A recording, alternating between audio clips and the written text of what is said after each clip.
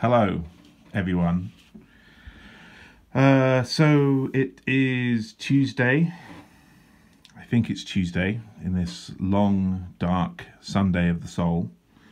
Um, and what to say, really? Just uh, kind of a nice day outside, not going anywhere. So I thought I might do a little bit of uh, drawing today. Now, um, if you watched my my video from yesterday, you'll see that I was uh, inking a, a page that I'd already penciled to give you a chance to see a little bit of my process. And today I'm going to do something different. As you can see, I've got this ridiculous list here. Dan McDraw. My name's actually Dan McDaid. I don't know if you know that. But so I changed this bit in a sort of bit of dry humour, a bit of wordplay to draw. And what I did on Twitter was I asked people for suggestions for characters to draw, and uh, I wasn't let down. I got a lot of very interesting ones here. Um, a couple of curios like Brute Nelson. Brute Nelson is, as far as I can tell, the first person that the Joker ever kills, sort of way back in 1939, 1940. Sky Knight, he's my own character. That was suggested by Colin Bell. Jonah Hex, you probably know. He had a film a few years ago that no one watched. Um, he's a kind of, I suppose, a sort of disfigured cowboy bounty hunter type. Iron Fist has his own TV show, not very good, but a great character.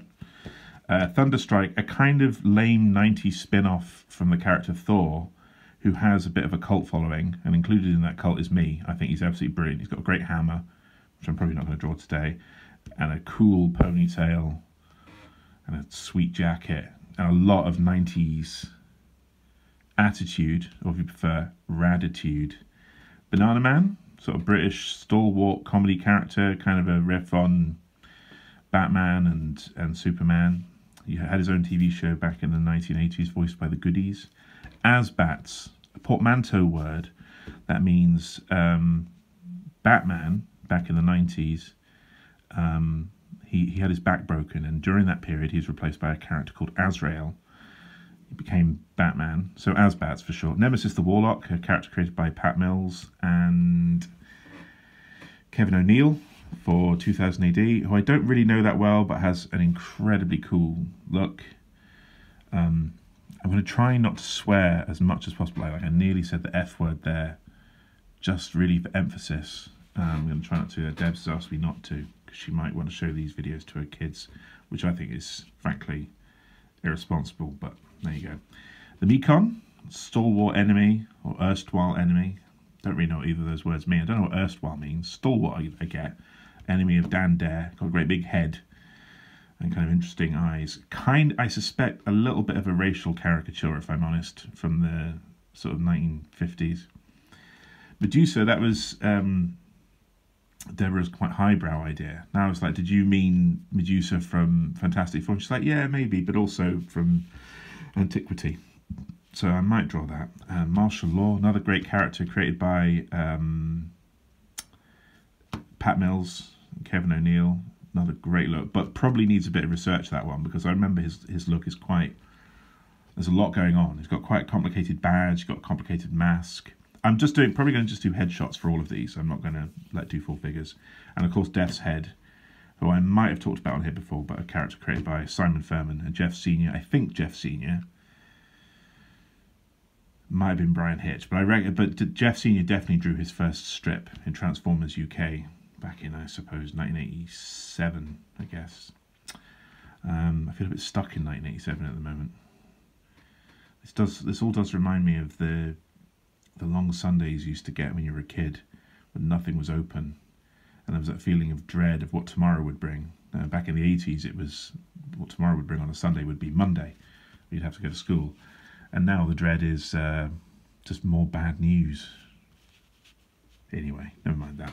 So anyway, that's the list. I just have to sort of pick who I'm going to draw today and kind of go with it. I suspect I'm probably going to go with either Jonah, Hex, or Death's Head, because they're probably the most fun to draw. And my plan, such as it is, is to fill this piece of, I don't know how well you can make this out, probably not that well, this piece of A3, um, it's actually cartridge paper, fairly heavy cartridge paper, with all of these sketches. And then at the end, uh, I might sort of auction it off for charity. I don't know, something like that. Um, yeah, I apologise for the wobbling of the um, the camera. Uh, it sort of can't be helped really, but um, try and bear with me. I'll steady it. Every time I, I notice it wobbling too sort of um, overtly, I'll I'll reach out and I'll stop it. And that's it. So I think I'm going to draw. I think I'm going to draw Jonah Hex. Let's give that a go. If it doesn't work out, I'll stop. I'll probably start crying. You'll, you'll hit, see me, hear me crying on stream. Um, but hopefully it won't come to that. So, um, as I said yesterday, we'll probably talk through some of it. I might forget because what happens is that when you're drawing, a different part of your brain gets engaged. Um, and you see it's sort of happening already. Uh, and then it makes it harder to concentrate on two things at the same time. It sort of uses different parts of your brain. I think I might have drawn his hat wrong pretty much right out of the gate, but I'm gonna I'm gonna widen that brim out as well. I suspect that tie is also wrong. I really should have done a bit of research. He's sort of got more of a clean cut, already got more of a kind of a clean cut sort of um, uh, Robert Mitchum look to him there. Never mind. I'll, I'll rough him up a bit. So there you go. We're going to put a bit of uh, kind of a Western type mullet there. I think he's got more of a just a sort of plain circular brim. Something a bit more menacing about the circular brim. It's not altogether certain if it's a is that a good guy or a bad guy. And I think this top this top bit might be a bit more of a plain circle as well. So let's go with that. It's, I want to say a Confederate hat. I don't really know American culture well enough to be able to say that for certain. But anyway, I'm sure someone will put me right in the comments. Or put me wrong with fake news, I don't know. That phrase, that phrase, fake news, is not quite as funny as it used to be. Anyway let's do a little bit of background stuff there.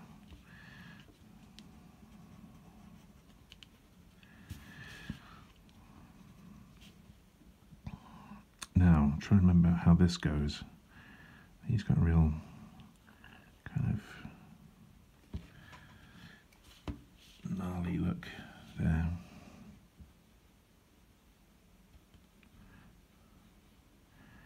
I seem to remember sort of tendrils of flesh hanging down through which you can see his teeth. What a great design this is, wow. Really one of those unforgettable looking characters. I think his nose is basically normal.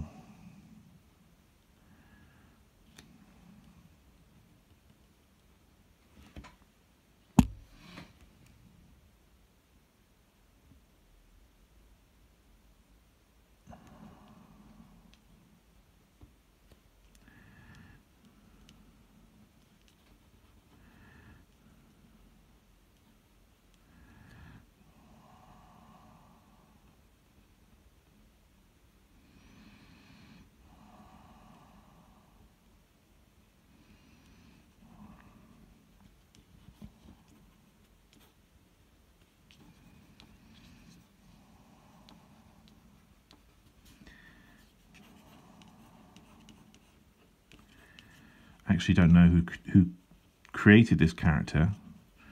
So again, feel free to let me know. he said downstairs. Yeah, you know what? I'm going to call the comments downstairs. Feel free to let me know downstairs. Let's do a bit of cloud type stuff here in the background as well.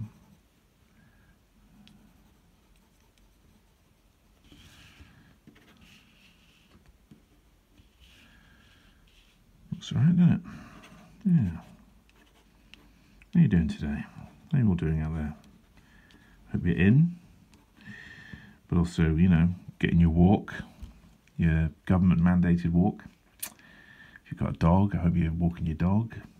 You know. Don't know. Mad.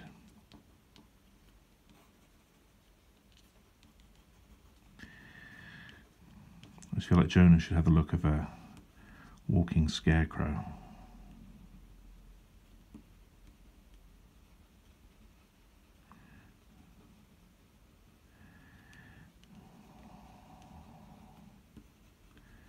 Yeah, that's it.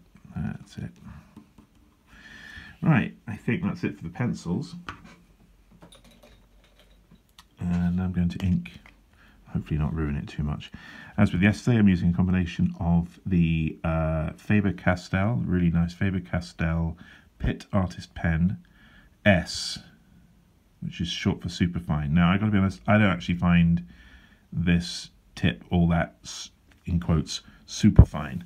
Um, but it is quite a good tip, and the more you use it, what's quite nice is that the end gets somewhat beveled, so you can get a little bit of um, a little bit of subtlety to the line, a little bit of variation in the line. Not much, but just enough to kind of keep it interesting. So.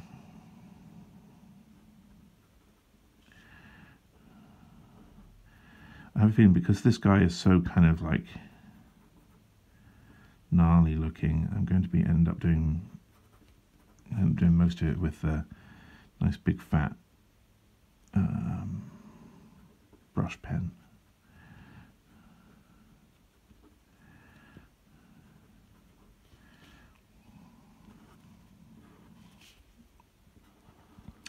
This is a move I learned from, I picked up magpie style from um, Moebius on in a YouTube video and the, the move that I'm talking about is that the upper surfaces of something, i.e. that surface that is closer to the light, draw the thin line.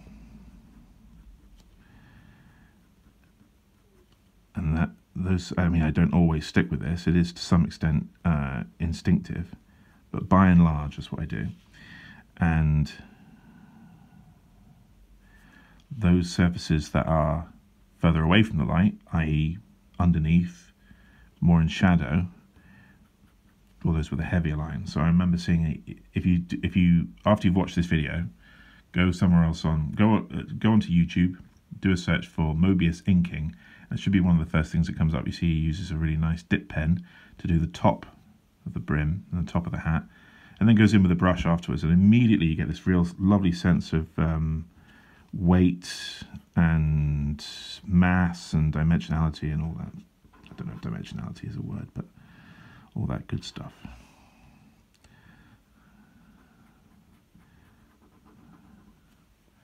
Sorry about the wobble.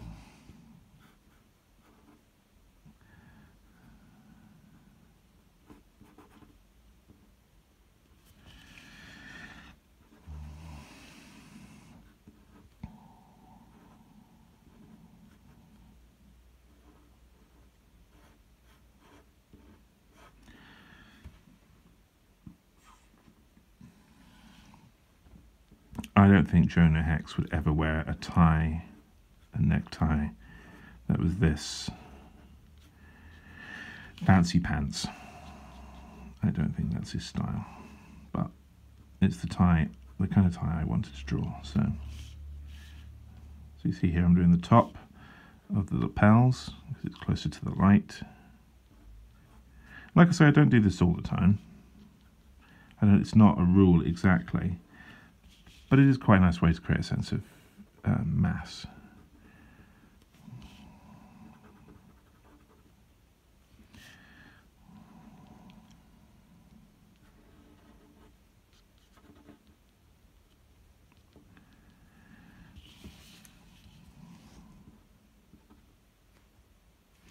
Okay, I think I've gone about as far as I can with a fine liner, with super fine.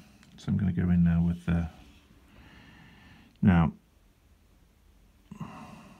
okay, slightly messed that up, but it's all right.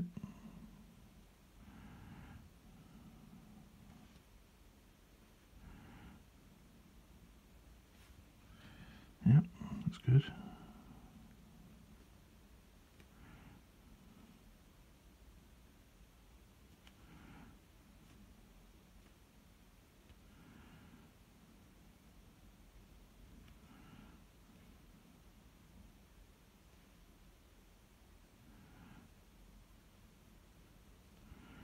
Gone very quiet.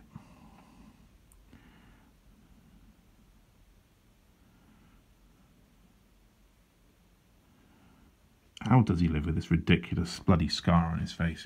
It doesn't make any sense. But it's comics. So, what can you do?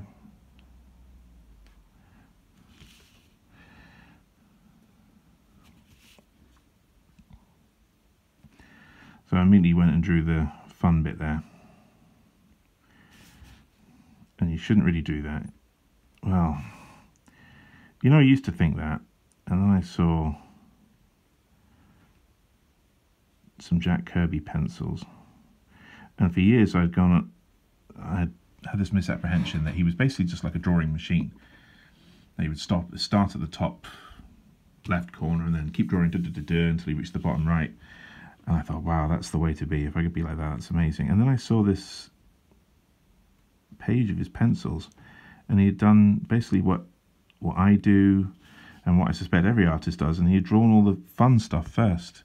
He had drawn the thing, he had drawn the human torch, and he kind of left the buildings and gone, I'll go back to them when I'm in more of a building mood. So I don't know what to make of that. Whatever works would be my um,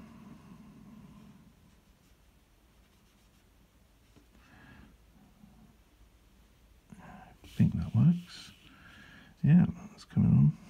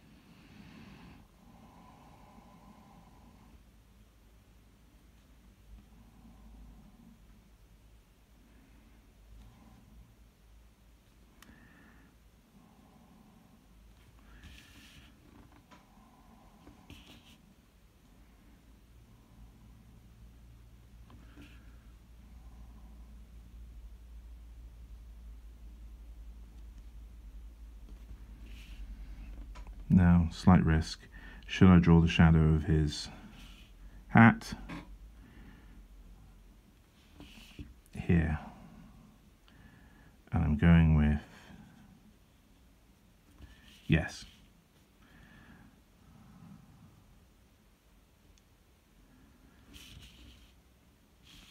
And I think that's all right. I think it's all right. I probably should have should just have done it on the one side. It looked good on the one side, but not so hot on both, but never mind, never mind.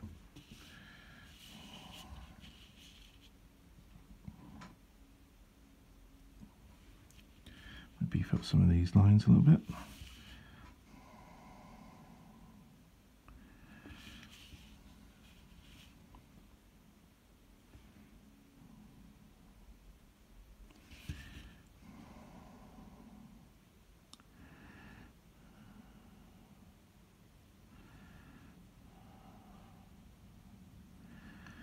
Love that you can really go to town with this nastiness over here.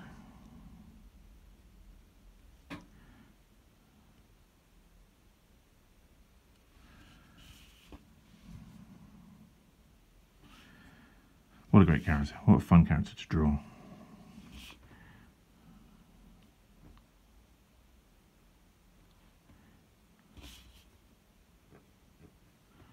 I'm going to do a bit of research and find out who created this character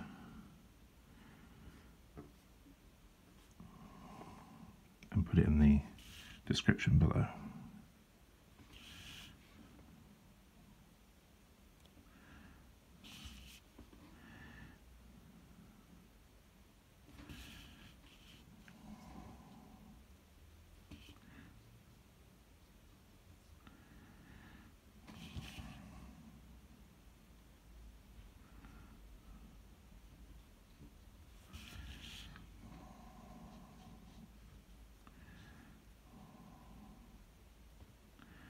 Off inking those clouds for as long as I can because clouds are boring.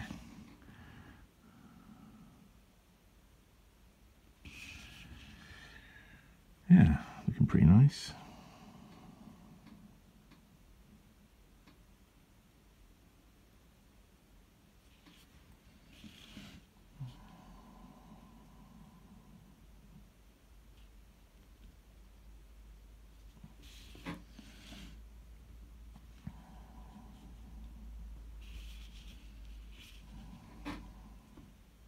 See what's happened here is that the brush has flattened out from doing all that inking.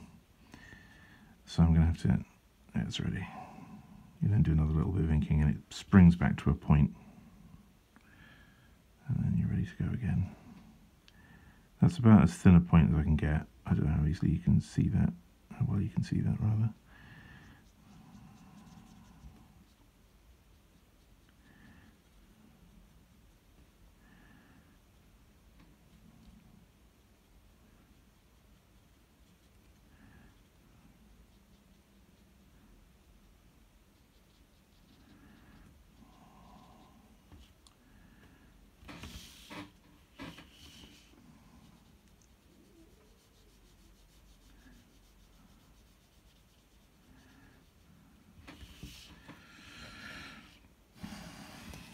Should add a bit of pencil marks, a bit of pencil shading, should I say.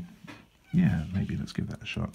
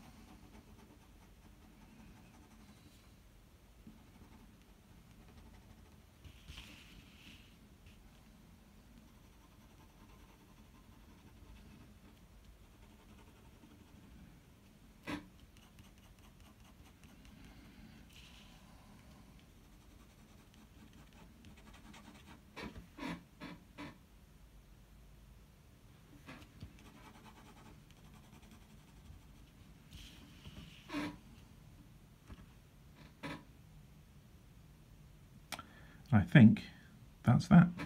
Bye for now.